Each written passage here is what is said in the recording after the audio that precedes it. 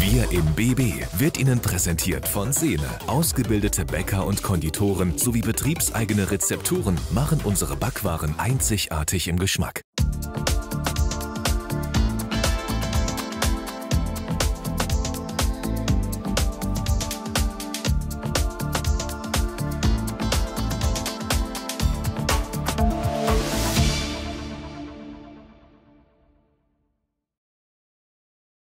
Hallo und herzlich willkommen zu einer weiteren Ausgabe von Wir in BB. Oberhalb von mir ist der Killesberg und Sie fragen sich, was hat der Killesberg mit Wir in BB zu tun? Nichts hat er damit zu tun. Warum wir aber hier sind, das verraten wir Ihnen gleich. Vorher gucken wir mal eben nach Leonberg. Dort wird nämlich diskutiert, wie kann man Leonberg schöner machen? Noch schöner. Geht kaum, aber es wird diskutiert und wir waren dabei. Fachwerkhäuser, ein Brunnen, das alte Rathaus mit dem wunderschönen Marktplatz daneben und jetzt auch das neue Rathaus und ringsherum, naja. Okay, auch Leonberg kann man noch schöner machen. Genauer gesagt geht es darum, die alte schöne Stadtmitte mit der neuen, gut besuchten Stadtmitte zu verbinden. Viele Besucher kommen nämlich gar nicht mehr in die Altstadt, sondern nur noch bis zum Leo Center. Jetzt sollen Investoren in einem Wettbewerb zeigen, wie sie das Problem lösen wollen. Die Leonberger aber sind zum Teil skeptisch. Äh, ist ja die, tatsächlich diese, die Höhenüberwindung wichtig. Insofern kann man also diese Brücke nicht sagen, naja, irgendwie machen wir sie, vielleicht auch nicht. Was ist, wenn ein Investor mit einer geringen Anzahl von Planungsbüros so ein großes Areal plant? Ist das nicht alles aus einem Guss schlussendlich? Leider mussten ja einige Bäume gefällt werden. Ich möchte jetzt aber wissen, wie das auf dem ganzen Gebiet verteilt wird? Äh, die Frage ist einfach nach dem Zeithorizont. Mich würde es interessieren, was für Straßenplanungen vorgesehen sind in dem Areal. Wer betreibt was? Wer bestimmt letztendlich, was da passiert? Vier Experten, die den ganzen Tag beraten haben, antworten und bemühen sich, alle Zweifel auszuräumen. Oberbürgermeister Schuler ist von dem Projekt überzeugt und weiß, dass es schwierig sein wird, alle Bürger mitzunehmen. Es ist zwangsläufig so, dass in einem so frühen Stadium des Projekts die Konkretisierung der Vorstellung noch nicht so weit ist, dass alle Bürger zufrieden sein können. Worum es um uns heute ging, ist aufzuzeigen, womit wir uns beschäftigen, Transparenz zu schaffen, Offenheit für andere Gedanken und auch aufzuzeigen, wohin die Reise in den nächsten Jahren geht, unter der Voraussetzung, dass die Konjunktur läuft. Bis die Pläne Gestalt annehmen, wird es noch dauern. Spatenstich ist vermutlich 2021.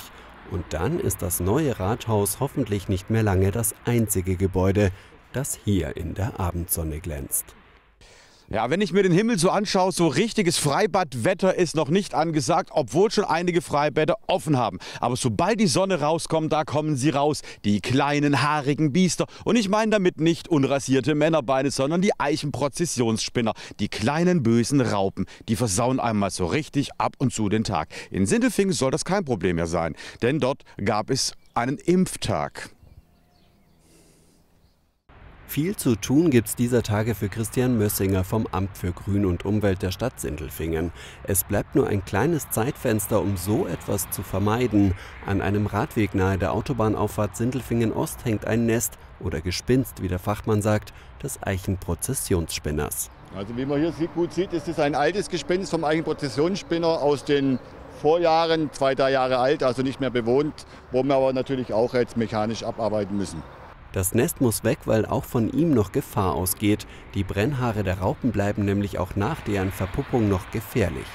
Kontakt mit diesen Eichenprozessionsspinnern und auch den Nestern, Gespinsten auf jeden Fall vermeiden. Es gibt äh, Hautreaktionen durch den Kontakt, aber auch durch die Brennhaare, die durch den Wind weitergetrieben werden können. Kann es auch zu Bindehautentzündungen kommen, Entzündungen der Atemwege. Also auf jeden Fall den direkten Kontakt vermeiden, aber auch die Umgebung vermeiden. Das Entfernen also den Profis überlassen. In Sindelfingen sind die jetzt schon im Einsatz und haben alle Hände voll zu tun. Zur Bekämpfung müssen die Blätter der Bäume gerade ausgetrieben sein. Außerdem braucht man windstilles und trockenes Wetter. Ja, wir haben ca. 1400 Eichen im gesamten Stadtgebiet. Wir spritzen schon seit 10, 15 Jahren prophylaktisch mit äh, einem biologischen Insektizid, äh, das die Raupe in kurzer Zeit abtötet, dass wir da einfach schon prophylaktisch dagegen vorgehen. Wer keine Eichen im Garten hat, muss sich übrigens auch keine Sorgen machen. Die giftigen Raupen gehen nicht an andere Bäume. Wer eine Eiche hat, sollte die besser im Auge behalten und wenn ein Gespinst auftaucht, sofort einen Schädlingsbekämpfer holen. Ja, und wir sind hier immer noch in der großen Stadt Stuttgart, unter mir die Stadtbahn und hinter mir die Werner-Siemens-Schule. Und hier auf dieser Schule treffen wir den Herrenberger Mahmoud El-Dasuki. Und das ist der Filmemacher von einem ganz, ganz tollen Film. Mit einem riesen Projekt ist er an den Start gegangen. Und was er für einen Film gemacht hat, das fragen wir ihn gleich. Ich besuche ihn jetzt erstmal auf dem Schulhof.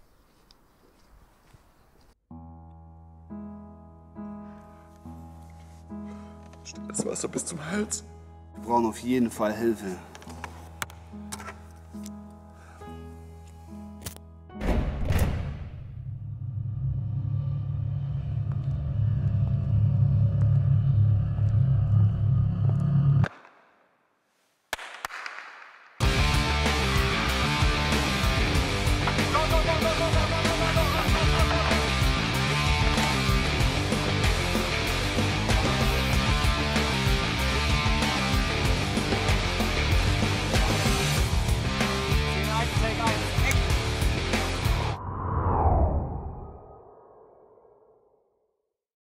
Und jetzt stehen wir hier mitten im Grünen in Stuttgart. Sag mal, wie heißt eigentlich die Schule, auf die du gehst? Werner Siemens Schule, Stuttgart. Und da habe ich jetzt einfach mal aus dem Unterricht rausgeholt. Ich habe dich vorhin schon angekündigt, du bist der Mahmoud und du bist der Projektleiter, der Filmemacher. Sag mal, um was geht es denn ganz genau in dem Film? Also in dem Film geht es ähm, um eine Problematik darzustellen, die aktuelle Fl Flüchtlingsproblematik. Und worauf wir vor allem Wert gelegt haben, ist ähm, die Familiensituation zu zeigen. Die Flüchtlinge kommen her ähm, und haben allgemein schon ähm, etwas Schwierigkeiten, sich hier zu integrieren. Es gibt Hürden. Und in so einem Moment ist es, glaube ich, sehr, sehr wichtig, dass eben die Familie beieinander ist, um so eine Hürde gut zu überstehen. Und ähm, das ist eben meistens nicht der Fall, weil eben auf der Flucht äh, die Familie getrennt worden ist. Und ähm, das ist, wo wir mit dem Film äh, ein bisschen Fokus drauf legen. Wer kam eigentlich auf die Idee, einen Film zu machen über in dem speziellen Fall einen Flüchtling, der irgendwann mal in Herrenberg strandet? War das deine Idee oder waren da auch noch andere daran beteiligt? Also das war meine Idee. Ich wollte schon immer mal gern einen ähm, eigenen Film drehen. Ich habe schon lange mit Film zu tun und so, aber ich wollte mal endlich äh, ein eigenes großes Projekt im Bereich Film machen. Und ähm, als ich äh, am Drehbuch war und überlegt habe, was ich äh, denn schreiben könnte, ähm, kam eben dieser Geistesblitz, dass ich ähm, auf diese Problematik gern eingehen möchte und äh, zu zeigen, äh, was denn da eigentlich gerade so abgeht und dann einen kleinen Punkt setzen. Ja, aber wenn du so ein Projekt ins Leben rufen möchtest, dann brauchst du natürlich mehr als nur dich als Kameramann und als Cutter am Ende des Tages. Gab es denn irgend sowas wie ein Casting und wer hat da am Schluss mitgemacht? Also es gab kein Casting, aber ähm, sobald das äh, Projekt äh, zu Ende geplant war, sodass äh, Leute mitmachen können, habe ich eine Anzeige im Amtsblatt äh, geschaltet, sodass sich Leute melden können, die Interesse am Film oder Schauspiel oder allgemein einfach äh, dran haben. Da haben wir uns getroffen und haben geschaut, was die Leute denn so interessiert, wie zum Beispiel der Alex, der als Schauspieler mitgewirkt hat. Und ja. Ja, Alex, also du bist dann auch über das Amtsblatt äh, darauf aufmerksam geworden und hast gesagt, da mache ich mit. Was war genau dein Job bei dem Film? Genau, ich hatte zwei verschiedene Rollen bei dem Film. Die erste Rolle war, ich war so ein Parkourläufer, denn Mahmoud kannte mich von der Schule und wir haben immer mal wieder geredet und er fand es interessant mit dem Parkour und hat gesagt, ich soll doch da einfach mal mitmachen. Das war dann meine eine Rolle und als zweite Rolle hatte ich dann noch ein Gangmitglied. Das heißt, ich habe ein Gangmitglied gespielt und dargestellt und ja. Und vielleicht sehen wir dich auch tatsächlich in einem ganz kurzen Ausschnitt, weil über den Film haben wir schon gesprochen, gesehen haben wir davon noch nichts. Zeigen tun wir es Ihnen aber jetzt.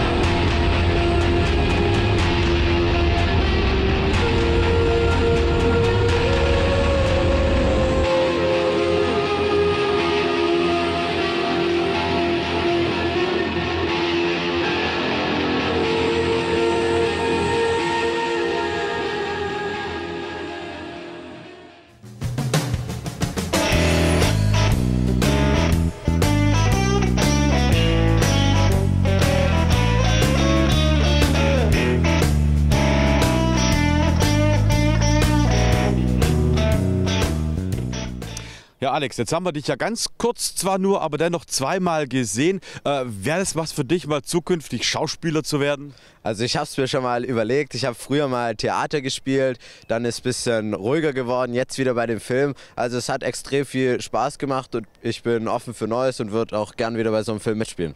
Ja, und da wäre nämlich gleich die Frage an Mahmoud. Mahmoud, wie viele haben denn jetzt außer dem Alex noch bei dem Film mitgemacht? Also insgesamt waren wir um die 30 Leute, also es haben sich um die 30 äh, gemeldet, als ich diese Anzeige geschaltet habe und da haben wir uns getroffen und mal geschaut, äh, was die Leute denn so interessiert. Ja, 30 Schauspieler brauchst du ja nicht. Genau, also es waren äh, so eine gemischte Gruppe, also die überwiegenden Leute waren interessiert für Schauspiel, das macht auch Sinn, weil äh, für Film braucht man nicht so viel im Vergleich mit Schauspiel, weil wir hatten viele Rollen zu belegen und ähm, genau, da waren ein paar Filmemacher, also so um die fünf Leute, die sich für Film interessiert haben und da haben wir so ein Team gebildet. Genau. Kamera, Ton, Technik. Genau, Kamera, Tontechnik, Cutter, alles rum durch. So, und jetzt geht es ja bei so einem Projekt, das du jetzt aufgetan hast, ja nicht nur um Zeit. Es geht nicht um deine Zeit, sondern es geht auch darum, das kostet am Ende des Tages Geld. Die Schauspieler werden wahrscheinlich ehrenamtlich dabei gewesen sein, aber Material. Wir hatten euch dabei unterstützt. Genau, da hatten wir super Unterstützung von der Stadt Herrenberg durch den Projektepool und ähm, die waren auch als Ansprechpartner da. Das heißt, wenn es irgendwann was äh, Problem gab, Drehgenehmigungen und so weiter, konnte man sich da immer melden und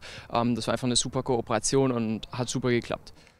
Und jetzt ist natürlich wichtig für alle zu wissen, wo kann man ihn sehen? Okay, also er wird natürlich auf äh, sämtliche äh, Online-Plattformen zu sehen sein, aber es ist auch eine große äh, Premiere geplant in Herrenberg, ähm, wo der Film dann ausgestrahlt wird, äh, wo man dann eingeladen wird und, und äh, äh, schauen kann. Aber gerne können die auch dann unserer Twitter-Seite folgen, denn da halten wir alles auf dem Laufenden, wann auch die Premiere stattfindet.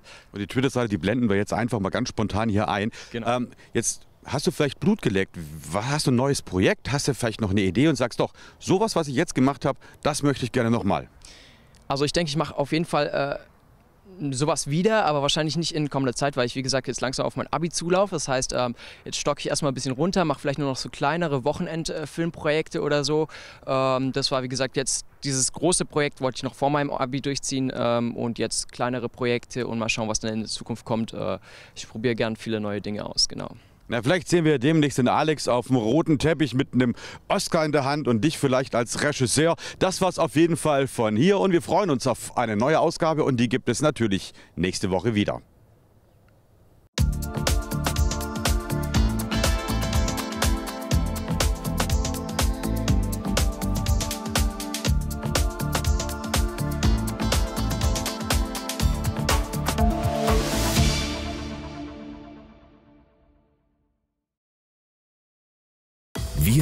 Wir in BB wurde Ihnen präsentiert von Sene, Ihr Familienbäcker.